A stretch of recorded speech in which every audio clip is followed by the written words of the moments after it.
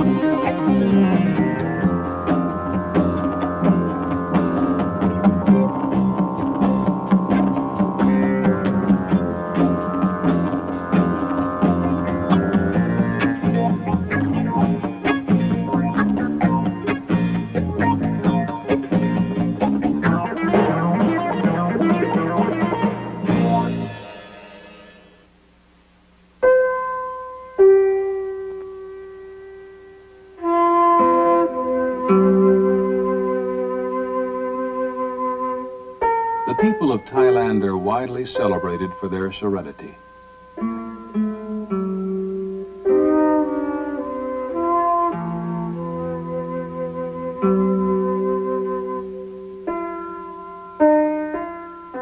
Most of them are believing, and many are devoutly practicing Buddhists.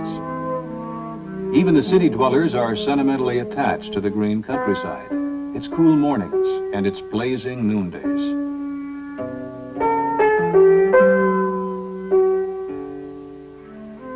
Are good-humored about most vagaries of weather, economy, and human nature. A conservative people, all considered, respectful of the past and its ways, not given to social turbulence, or for that matter, to dramatic breaks with tradition. So how did it come about that this is the setting for one of the most successful programs of fertility control in the world?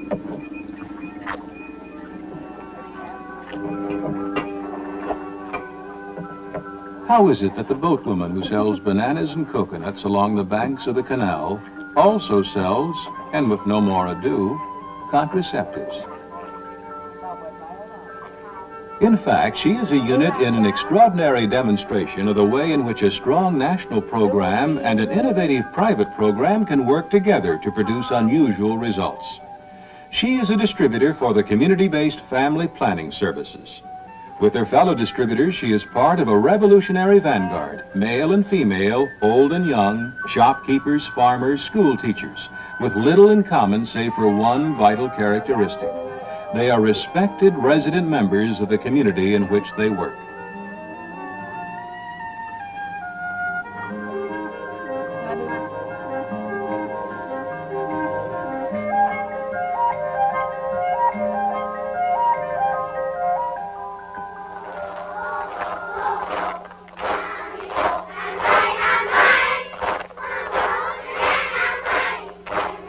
Family planning came to Thailand in a variety of dramatic steps, alternately commonsensible and faintly outlandish, and in a very short length of time.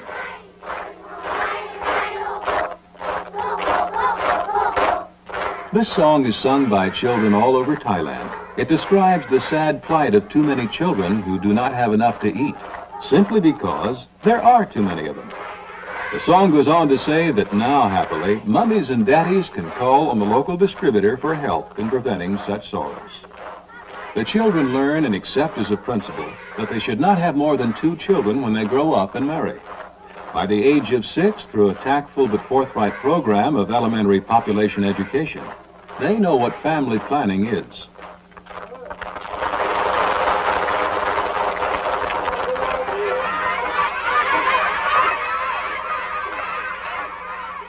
They also know what a condom is.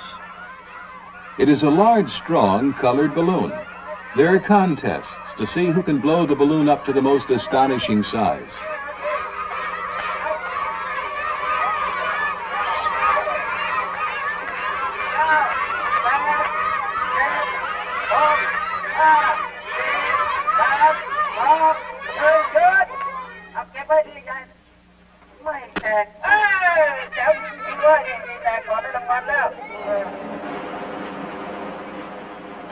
For older groups, such as the young workers in a Bangkok printing plant, there are other introductions to family planning, more sophisticated, but no less lighthearted. ฉีกถุงยางมาพัวเลย แล้วก็ลูดลูดลูดลูดลูดลูดนะ แล้วก็ใส่เลยแล้วก็ใส่ Desensitization of the public attitude toward the mechanics of contraception has been a first step for the community-based family planning services, CBFPS, and prerequisite to all other steps. Like the good showman he is, the lecturer disarms his listeners by making them laugh so that practical information can be imparted painlessly. His point is, the condom is an object. It has no moral or social character of its own. It is not dirty. It is not threatening. It is simply an easy, cheap, safe contraceptive. Whatever else these popular demonstrations accomplish, they guarantee one result. None of these young people will ever look upon a condom in quite the same way again. Quite incidentally, it has a variety of practical uses. You can carry coins in it, or wrap packages with it, or use it to tether a ponytail. Most important, you can learn to accept, recognize, touch, use contraceptives. From the reduction in fertility already accomplished, it is clear that the Thai people are willing to do just that, and in very large numbers.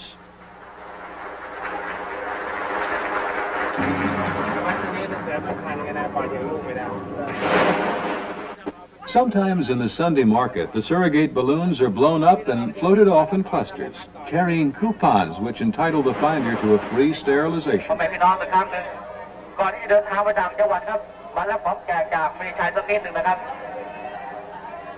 In the bus stations which serve Bangkok, packets of condoms are distributed as samples.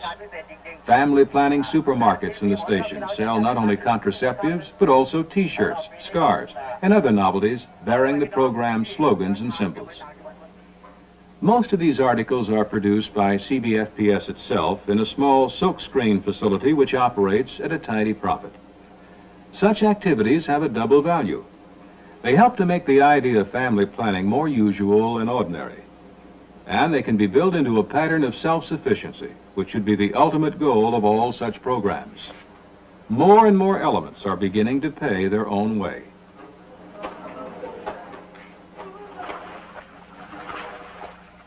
The painted message on the work buffalo reads, I use Mechai, which in Thailand now means, I use a condom.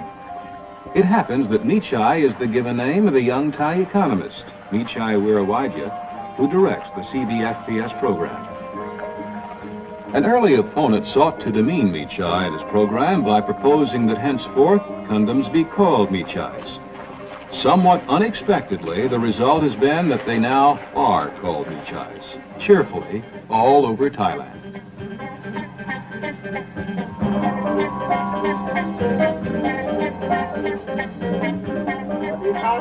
For all the apparent frivolity which characterizes the public face of the program, it has a serious side.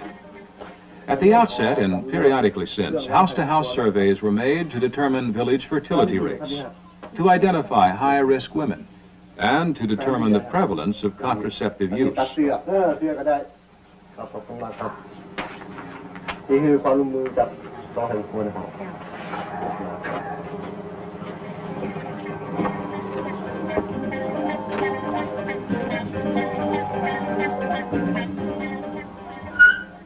The village program is the most important CBFPS endeavor, and the village distributor is its keystone. The hairdresser is especially appropriate, for she is in an easy, confidential relationship with most village women of childbearing age. Like other distributors, she is known to be trustworthy, financially responsible, energetic, interested in village concerns. She makes a small profit from the contraceptives she sells. In turn, she offers her customers a discount on hairdressing services when they become acceptors. It is one of many examples of mutuality of support. As a concept, it has roots in simpler times, in Thai rural life, and in good Buddhist doctrine. Cognizant of the fact that poor women in urban areas are no less needful of contraceptive help, the program puts supplies and services in the hands of those distributors on whom urban women depend for so many necessities. Once contraceptives have become acceptable and ordinary, they must, of course, be universally available. And in Thailand, they very nearly are. A good resupply backup system is part of the program. The area supervisor, who has 60 to 70 distributors under her jurisdiction, visits them regularly to replenish their supplies, to hear their problems, if any, and to keep them apprised of developments in other program ว่า areas. เดี๋ยวนี้ผู้รับบริการเยอะไหมคะ เดี๋ยวนี้ผู้รับบริการมากค่ะเดี๋ยวนี้มีเยอะ อ๋อไม่ดีใช่ไหมค่ะเขาที่ด้านนอกเหมือนกันเชิญ Currently, all contraceptive supplies are obtained by CBFPS from the national government program.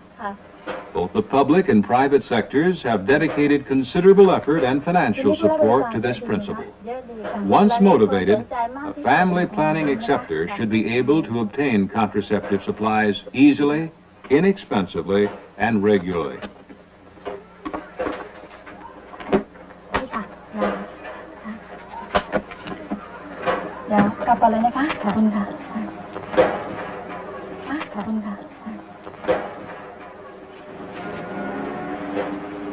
In the commercial sector, of course, condoms have been available for many years. The thrust of the current program has had the real effect of taking them out of the closet, so to speak, and assuring that customers can find them not only easily, but without embarrassment.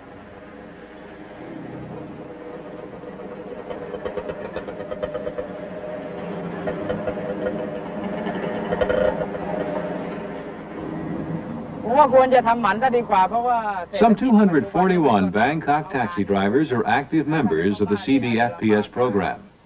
They sell about 200 cycles of pills and 15 gross of condoms monthly to their passengers. They refer an average of 10 clients for sterilization, both men and women, to the clinic each month. If a driver brings in 50 sterilization clients in a year, CBFPS pays his cab insurance for a year. Voluntary sterilization looms very large on the local family planning horizon for a wide range of reasons. Among couples practicing family planning, more than 25% have chosen sterilization.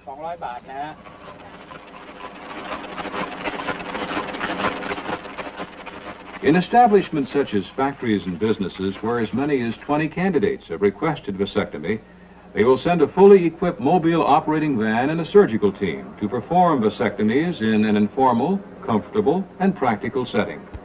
Proof of how relatively simple an affair a vasectomy can be. Voluntary sterilization has been part of the entire national program in Thailand from its early days. Medical standards are at the highest level for both male and female sterilizations. And in fact, pioneering work in new techniques has carried the Thai experience all over the world. In locations where they have found only a handful of men requesting vasectomies, they send out the vasectomy tour bus and bring the men to Bangkok for operations at the CBFPS clinic.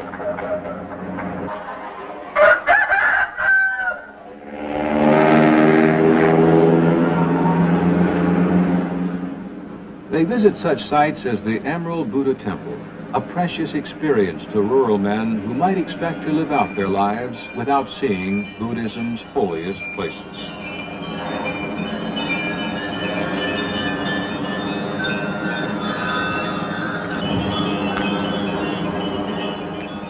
Traveling and Bringing family planning services to more than 15 million people of Thailand has meant that every conceivable proper outlet for contraceptives must be used.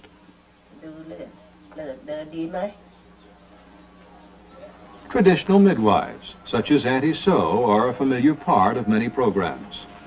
They are in some ways the ideal distributor, trusted by village women, wholly in their confidence, party to their problems.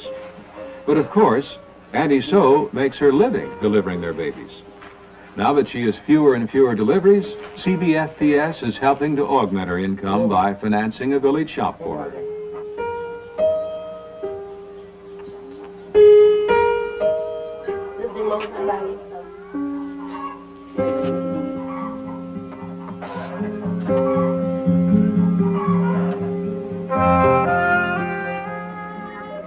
One of the most poignant proofs of the depth and breadth of the Thai program can be seen in a little border town where Thailand adjoins the cloistered nation of Burma. The border is loosely controlled, and the young Burmese wives often walk across it or ride their bicycles to the Thai distributor's house.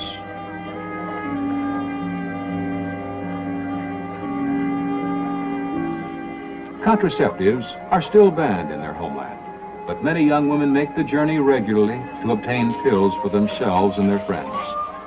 It is special evidence of how far women will go to take control over their reproductive destiny, even when the men who lead their country have made it at best grossly inconvenient and at worst illegal to do so.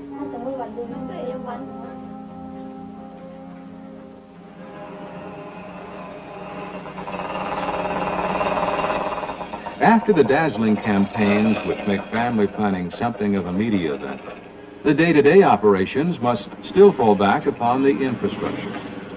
The government program and CBFPS alike depend heavily upon the massive efforts of individual field supervisors and their relationship with the distributors in their area. These supervisors are permanent salaried staff members, living in their own districts, owning motorcycles to expedite their extensive travel. They meet monthly to turn in their collections of money from contraceptive sales, collect new supplies, brush up on program developments. Their activities are closely synchronized with the government's health and family planning network.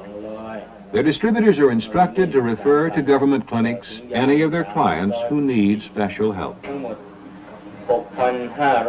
Once a year, all distributors are brought together in their district headquarters for retraining beyond the initial training with which they started their work. The training aims at providing the best possible simple grounding in family planning principles. They are reminded of their role as cooperating functionaries with their government counterparts, and they are given such specialized training as will enhance their position in their communities. The ultimate aim is to make of these distributors a kind of primary health care corps, able to handle simple health problems particularly in remote village areas.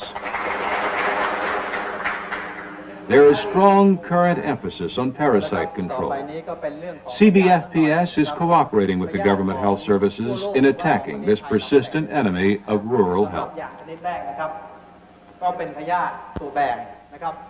Because the training experience within CBFPS has been so dynamic, there was considerable pressure to share the knowledge gained with other countries battling similar problems in the population field.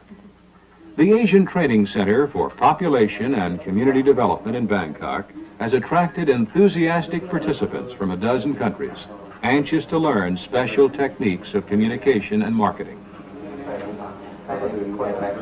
Each country will need a different approach to its fertility problems. Fertility is inextricably bound up with social and cultural patterns. But certain human qualities are universal, and the CBFPS creation of a climate of acceptance for family planning calls upon basic elements in that universality. Mechai Viravaidya, the cheerful young iconoclast who directs the CBFPS, looks beyond family planning. Kun has been working in family planning as a distributor in this village for five years. 68% of the couples in this village are practicing family planning. They want other things in life, and together we've learned that many things can be done using family planning as a base. Raising the income of the people, creating employment, opportunities for women, renewable energies, together with the villagers. This Village Health and Economic Development Center is one example of what we're trying to do in trying to combine fertility management and development. We've got examples right here of mushrooms, pig raising, chicken raising, fertilizer, solar food dryer, pesticides, household drugs, all the things the villagers need to have a better life. And this we hope to be able to do together over the next five years in our second phase.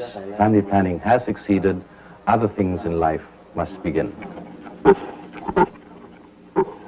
Fertility control at the village level is a simple, practical, visible starting point for development.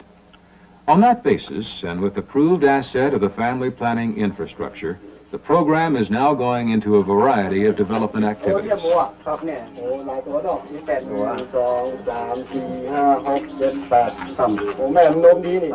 Some distributors offer free pig breeding services, and there is a contract pig raising arrangement available in several villages.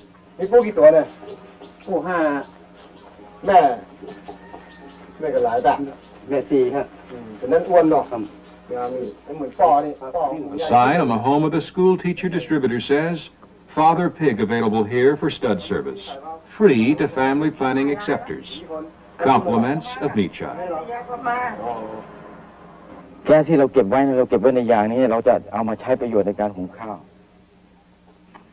The quality of innovation which marks so much of this program has carried over into development efforts. Biogas is one of the exciting possibilities.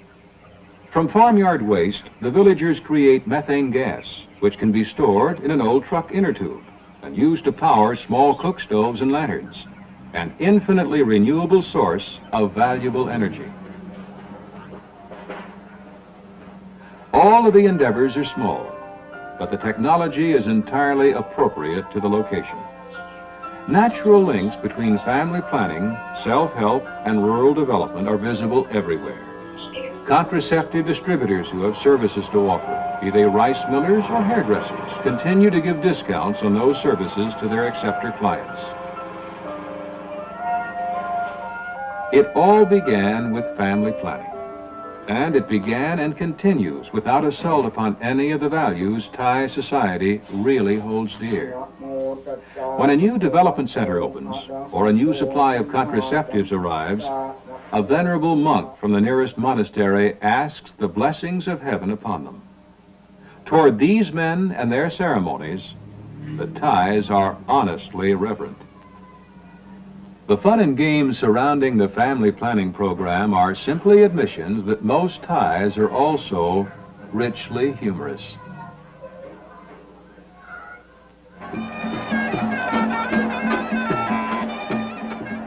Such traditions as the stylized martial dance with which a boxing match begins are not to be trifled with. This is preparatory and formal and sacrosanct. But because a boxing match is a place where men gather and reassert their appreciation of the manly virtues, it is also a suitable place to hand out condoms and to present boxes of condoms to the contending fighters.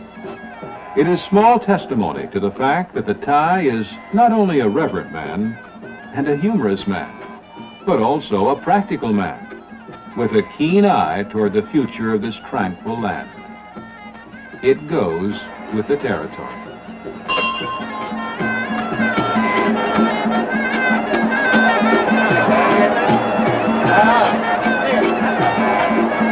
They find it